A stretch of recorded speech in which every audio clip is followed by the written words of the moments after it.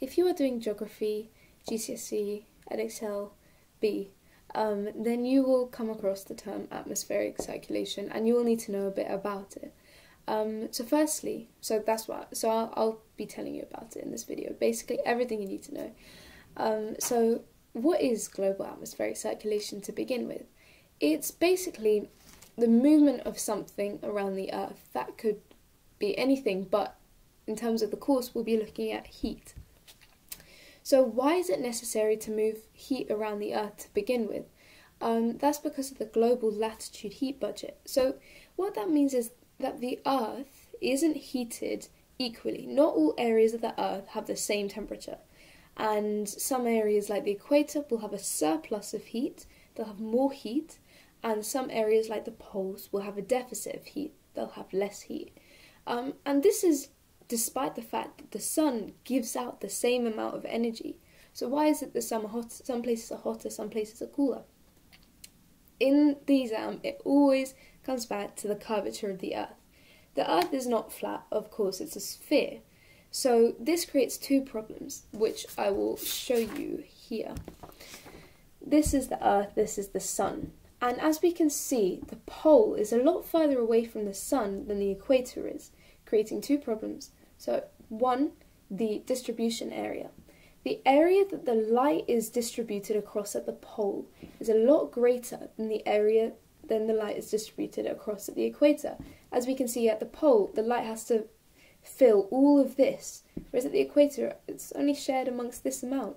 So that means at the pole, there is a less concentrated um, amount of heat radiation, meaning there is less heat received by each part of the pole, and therefore it's cooler. So that's one. Distribution area is greater at the poles, therefore meaning the pole is cooler. Secondly, the amount of air, the amount of atmosphere that the light has to travel through is a lot greater at the poles. Now it's the same principle as um, surface area and distribution area. The amount of atmosphere that the light travels through at the pole is a lot greater than at the equator due to the curvature of the Earth. This means that there is more atmosphere in contact with the light radiation than at the equator. More contact means more heat is lost, so less heat is received at the pole than at the equator, and the pole is cooler. So, how does the Earth attempt to address this heat budget? Um, just to recap, uh, the heat budget is is the difference in heat at different places on the Earth due to the Earth's curvature, which means that the amount of atmosphere and the distribution of the light and heat is affected.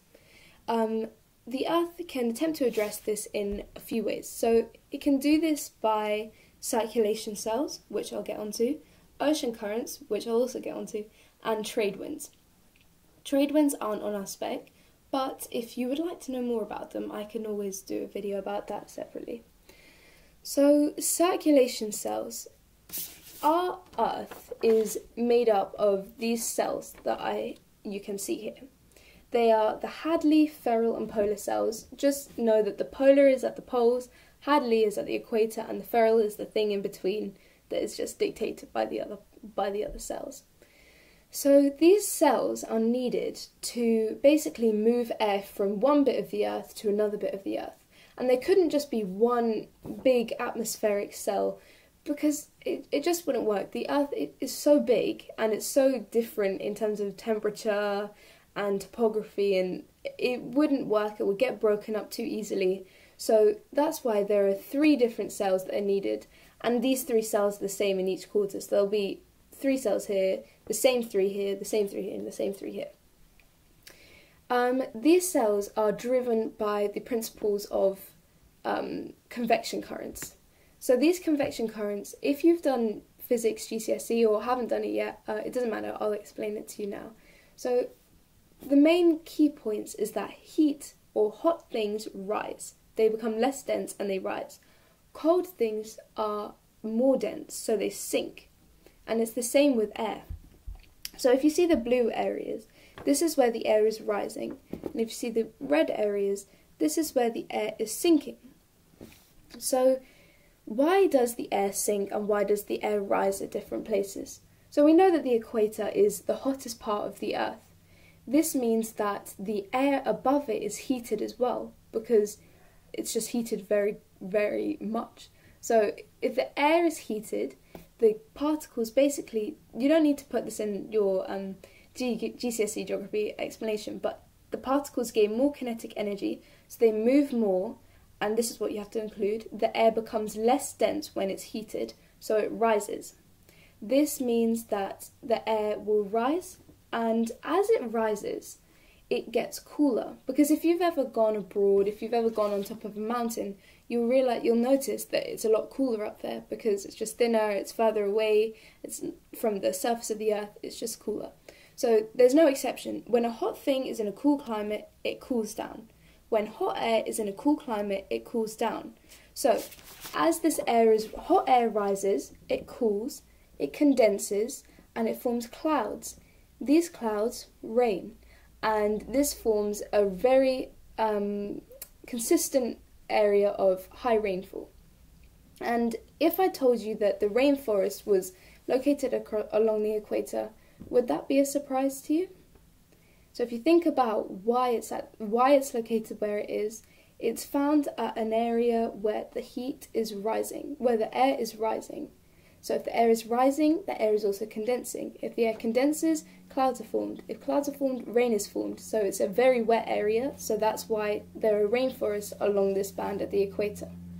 Now, we call this hot air rising and this area of kind of unstable, stormy weather. We call that low pressure. So if you think about it from the viewpoint of the, the Earth, if the air is rising, there's less pressure on the Earth, there's less pressure of the air onto the Earth, so there's low pressure because it's going up, it's not exerting any force on the ground, not exerting as much force on the ground, so it's low pressure. If we have low pressure, it's likely that there's a high pressure too, and that high pressure is where you see this red, where the air is forcefully sinking and exerting a force on the ground. So if hot air rises, what happens when that air is cold? So this air at the top is cold now, isn't it? Because it's lost all its heat and it's condensed and now it's lost its moisture as well because it's rained. So what happens to the air when it rises? It doesn't just sink back down. It doesn't really work like that. It's a current. It's continually moving. So instead of falling back down, the cold air will move leftwards or rightwards, it will move polewards and go as far as it can until it becomes too heavy and then it suddenly sinks. So, cold air, for the explanation, um, is more dense because the particles are closer together um, and therefore sinks. Now, if the air sinks, this creates a region of a desert region or an arid region is the is a word that the board likes you to use. And arid basically just means dry. So at the areas where it's red, there's not much rainfall. And if I told you that the Sahara Desert was along these places and there was a desert here and a desert there, it might not surprise you because there's no rain in these areas. And that's because the cold air is so dense and it sinks. And the cold air is is heavier than the warm air that's trying to rise. And if you think the warm air that rises is what is going to create rain, and if that can't if that can't penetrate the cold air, then no rain is going to form. No clouds are formed. The hot air won't get high enough to be able to condense, so it will just be dry. So if we think about what sort of places would be um, formed by high pressure, that would be deserts, that would be grasslands, it would be very dry climates. And obviously, if low pressure is when the air is going away, then high pressure is when the air is sinking back down, exerting a force, like I said before. Um, and people can get a bit confused with low pressure, high pressure, and which is which. I definitely did. I got that wrong so many times in GCSE. But if you think about it from the perspective of the Earth, like I said before, just think about it. If the air is going away, there's less force. If the air is bogging down, then it's more force. And just remember that cold air, hot, more dense air will stop any less dense air from rising. Therefore, no clouds, no rain. It's all good. So that was circulation cells.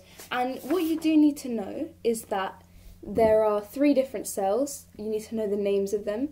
You need to know the types of climate that arise from where the cells converge and sink. So, where it's high pressure, it's going to be arid. And you need to know the types of climate when the air is um, rising, and that's low pressure, it's rainy, it's wet, and rainforests and tropical, all, all of those things. And that's all you need to know for that. So, then I talked about ocean currents as well as it being another way that heat is distributed around the Earth. Um, and there's one main system, there's one main current that allows heat to be taken from the equator to the poles and all of that. That's called the thermohaline conveyor. Um, you don't need to specifically name it, but you need to know the process of it, how it distributes heat, and what it what that means. So as I was saying before, hot things rise, cool things sink, and it's no different with air or with water.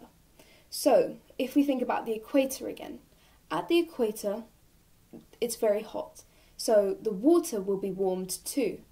If the water is warmed, the particles will gain more kinetic energy, they'll move further apart, but they'll be less dense. So the warm water will rise to the surface, and it will then, because it's a current because the ocean is continually moving, it will then be pushed away from the equator towards the poles. As it travels along the surface, some of the water will be evaporated because it's near the equator still. Even though it's going polewards, it's still at the equator. So there'll still be water evaporating, evaporating. And if we think about what salt water, what seawater is, it's salt and water. So if more water is leaving, there is more salt left in the water and if there's more salt, it becomes more dense. Additionally, if the water is moving towards the poles, it will become colder. And what do cold things do? It sinks. So, because of the salinity of the water is now higher, because there's more salt in the water, and because the water is becoming colder, the water will sink. It will sink to the bottom and it will move along the ocean depths um, back towards the equator because it's continuing the convection current. So that's it, really. That's all for convection currents, for ocean currents, circulation cells, why heat needs to be dis- distributed around. Um, what you could also note is the disrupt. They might also ask you about the disruption of these things. For example, what happens if the glaciers melt? So glaciers are fresh water, so they aren't salt water, and they are they, they could potentially disrupt the thermohaline conveyor by adding different densities to the water and then making the whole system collapse. I can do another video about climate change and what this means for um, what it means for the earth and uh, another time. But that's it. If you have any questions, just put them in the comments below. And yeah, hope you liked the video.